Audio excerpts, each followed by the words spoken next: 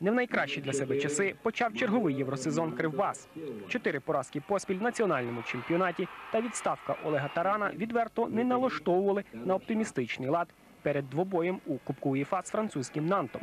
В першому таймі криворіжці володіли перевагою, сфокусувавши свої наступальні зусилля на ударах середньої відстані та навісних передачах.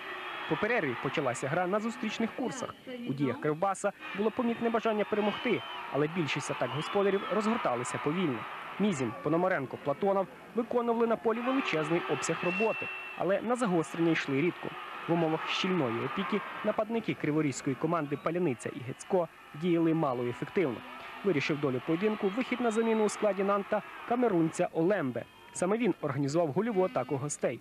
Мізін невдало спробував перервати простріл Олембе, і Зіані холоднокровно розстріляв ворота Правкіна. Кривбас міг врятувати гру, але удар голової паляниці був неточним.